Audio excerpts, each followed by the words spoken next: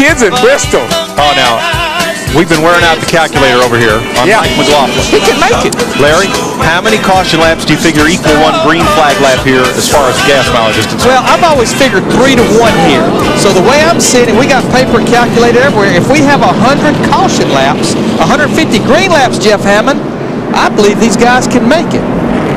Well, I know one thing. If you can make it on, if you can do a 250 lap race here, next race we come here, it'll be a 300 lap race. And he's definitely in the safest place. Oh yeah, I like where he is. 57 caution laps so far. Another 43 caution laps. What do you think, Jeff? I'm going to tell you right now, I'm just wondering if there's going to be anybody around to have to worry about gas or not. I considered it. Matt, what you got going on there, buddy? Well, Jeff, Jeff Green is currently riding in the third position. Butch Hilton, you pitted on lap 84. Are you guys good to go for the distance, or are you going to have to pit again?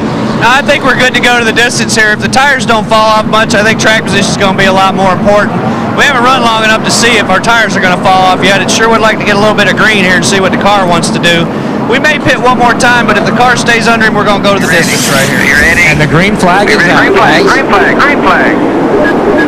Got to be pretty impressed with Mark Green. Larry, look at there, second place. He's already made his pit stop. Right, he's good to, we know he's good to go to Sure, he can go.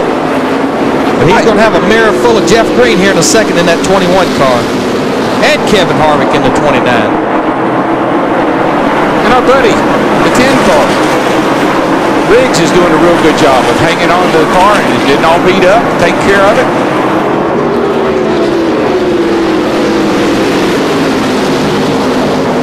Biffle, he's lurking along there. Right now, Riggs trying to get by the lap car, the 98 of Kasey Kahne. Top four have cleared all the lap, tra- lap traffic.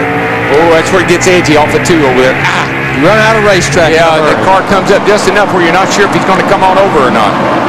I mean, right now, Mike McLaughlin, 126 laps in this thing. He just ran the fastest lap he's run in this race, Wow. 15.92. He's out there. He's not having to fight lap traffic. But that says a lot for the tire that Goodyear has brought here. Well, the harder tires, I love them. Man, I'm telling you, they make racing great. It takes that, it, it's, that eliminates an equation that we've had to deal with for so long. And Mark Green in second, 127 laps. He just ran his fastest lap at 15.84. Well, what does that tell you about that 21 car who's closing up on, on Mark Green pretty fast? Scott Riggs gave up a spot to uh, Biffle and then to Spencer. Yeah, well, that was all about trying to pass that lap car. He got up out of the groove, lost his momentum, lost two spots. Second place, Mark Green pulls over. Lets little brother by. You know what? That was a good move. Oh, in the wall car, in the wall turn two, Andy Kirby. No caution. Before he's in a bad spot over there, right on the back straightaway. And Spencer against the wall. I think there's some, Turn there four. Going to the might be some fluid wall. down there. Costin should come out. Yeah, Now it's caution is out. out. No, Co- Costin is out. Okay, he beats the leader. Nobody gets a lap back. Stay the right front stand. Bam. That, it looked like something happened. Obviously, something happened to that 77 car.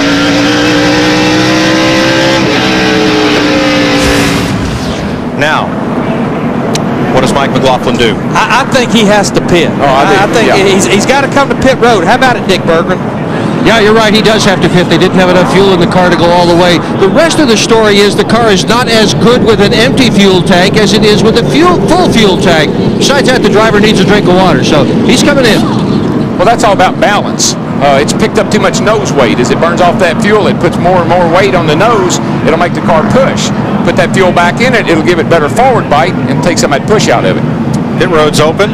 Andy Kirby will join Brad Baker, Mike Harmon, and Brad Teague behind the wall. Start. Here's where you come on the pit road over there in turn two, just like we was talking in the beginning, 30 Three tires miles an box, hour. Mike. Three tires in the box right here to be out. And he will not stop in the backstretch pits. clean He's still on pit road out. right here. Brian Vickers and Todd Bodine also pitting. And this is in turn out. three and four Stop right in here. Still pit road, still maintaining 30 miles an hour. He's pitting on the front stretch. You can't pass the pace car. You got to stay even with the pace car. You can pull up to it, but you can't pass it. Then away. And since he's got a shorter distance to go than the pace car, he's going to catch up with it. Four, three, Dick two, Berggren. Shane Westerberg is going to change the front tires. Jake Garderi is on the back. Jeff Fender is the jack man. Gas man is Jim Gilbert. And they just had a tire roll away into another pit. No problem, no foul. They've caught that errant tire. Right side's all done. Now they're all set to go in the left. Pulling out the left front fender a little bit. 15 flat. A great stop for these guys. Was it was a good stop. Jimmy Spencer comes in as well, That was a very efficient pit stop. along with Stacy Compton, whose lap's down. There's Spencer. Here's Matt. Mike, under that caution flag lap, Jimmy Spencer wasn't sure if he had a flat right front or possibly maybe an A-arm was broken, but Johnny Allen just came on the radio said the right front is down, the right front was down, so they're going to do a two and two. They're going to change right solely on this time and try to come back in and change the left side tires. He's got to back up now because the air hose is right in front of the left front tire, and Jimmy's gone. He's going to be coming back in though. Just how quickly your fortunes can turn here at Bristol. You're running up there and fighting for the lead, and next thing you know, you're in trouble. Andy Kirby going to get a little assist here, maybe? Not quite. He got up into the Uh, wall. he just bounced it off the wall down here, coming out of four. Now, what happened here is he got down to turn one, it wouldn't turn. Bounced it off the wall, probably lodged the steering up, probably got the fender down on the tire. When we got down to turn one, may have even cut that right front down. She wouldn't turn. And it hadn't been that many years ago. They actually moved that wall out some. Oh yeah, yeah. They've widened this track out three feet. That doesn't sound like a lot, but when you're doing when you're singing around here in 15 seconds, that's a lot. Jimmy Spencer in the one car just pulled up there after he slapped the wall. There you see the caution flag coming out. And he just narrowly missed uh, losing a lap there as he got back to the line just ahead of Mark uh, Jeff Green. Yeah, we have 17 cars on the lead lap. Jimmy One. Spencer is 17th. One to go here, bud. Just clean them up. Get ready for a restart. Jimmy Spencer, he wants to make sure he don't break the speed limit here, 30 miles an hour. He comes to pit road to get those two left side tires. Boy, it takes a lot of discipline to run all the way around this racetrack at 30 miles an hour. And he's still got to come down here and get his left side tires. Just get it off and go. Uh, they got him for too fast, Ed. Hey, I- I'm telling you, it just it's gonna be hard to do. Now, since it's Roll on the back, roll it back, caution, it'll be back, at the tail end of the back, roll it longest back. line. Oh, they got trouble again, rolling him back. Okay, we gotta go. Come on. Let's go. They didn't even get to change the tires. I'm not sure what happened. Did he run over the air hose down there, Doc? Okay, let's get going. Get going. Get up on the track. Eight cars in. Green flag, green flag. He got rights on it, but he didn't get lefts. So Spencer will take the restart half a lap behind the leader. with only two tires. He needs a caution to come back out. He Yeah. needs it in a hurry. He does right away. The leader's at the line now. Spencer's going into turn three. Matt, what happened there? Well, the problem for Spencer, they needed to fix that damage right front fender. They just felt like they would not have enough time, so they felt like the biggest problem was to fix the fender and not worry about the tires at the moment. I tell you what, we're looking out of Greg Biffle's car here with Flat Stanley on board in third place. He's got a good race car too. He's all over the back of Kevin Harvick in that 29. And then, you know, so I just looked at the score monitor, Larry, and we were looking at that two car, the one that we said was a thing. Look where he's running. He's still on the lead lap. Still on the lead lap in 13. He can't see out the left window because the sheet metal's all bent up over the side of it. But he's still going.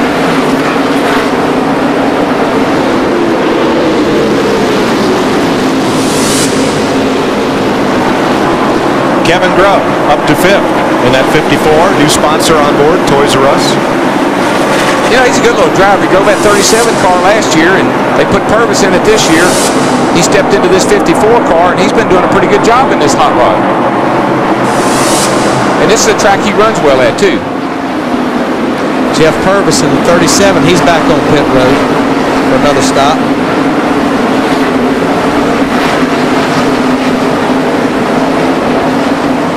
In front of this pack, Mark Green now tracking Greg Biffle. That's third and fourth. Steve? Well, Mike, Mark Green is just a little bit tight right now. I talked to crew chief Wes Ward, and their strategy is they're going to hope to get another caution in about 20 or 30 laps, and then short pit, take on tires. They're okay on gas, but they want tires in about 20 or 30 laps, and then they'll go the rest of the way. By the way, his brother David Green, the 1994 Busch Series champion, is spotting for Mark. Well, I don't know. Right out, right now, running in fourth, he just ran a lap at 15.84. well, actually, his last lap was 16.12. Leaders up there running 16 flat. And Christian Elder usually drives this car. Mark's filling in for him and uh, doing a, just doing an outstanding job, I got to say. Good battle amongst some young drivers here, Darrell. Shane Hmiel, 47, is 10th. Casey Mears and Scott Wimmer right with him. Shane Hmiel in the 47. They came up here and tested. He actually wrecked with just a few minutes to go in the last day of testing. They took this car back home, put a front clip on it, the whole front frame section, did the body back over, and then back up here, and he's sitting there running in the top 10. Boy, but Casey Mears is using up that back bumper. He'll be uh, doing some more body. Whoa! Yep. Oh, hang on, Casey. Oh, almost saved it. Caution's on the speedway. Here's a car spinning around, and Oh. guess who it is?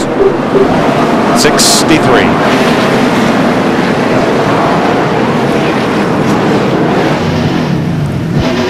We're going to get you four tires. Lap 147, Casey Mears trying to make a pass, runs out of racetrack and slides up to the turn two wall. That's what's put us under caution. 63 Ken Alexander coming around into turn number one. Well, he got his car afterward. he got that nose in there, and this is one of those places where you just aren't sure if Shane Hmiel's going to give me room or not. If you keep going, you're going to take both cars out. You start trying to check up, you lose control, and up into the fence you go. We always talk about give and take. There's not enough time here to almost give and take. Now, Darrell, it looks like he's almost going to save this thing. Does he over, just overcorrect? Should have just spun it Right there. Obviously, now he should have just spun it on out. Hmm. Because it whoops around on you, so you're carrying a lot more speed there than it looks like on TV. And here's Johnny Sauter right in the middle of it again. Low, go low. There you go. Come on. What Johnny Sauter has not been in, he's had a great view of all day long. Sure has. And Ken Alexander gets an assist from Jack Sprague. Keep going. Tough day for Alexander. That one, not his fault. Hmiel was lucky. Yes, he was. And the caution counter stands at 10. We'll be back to Bristol after this.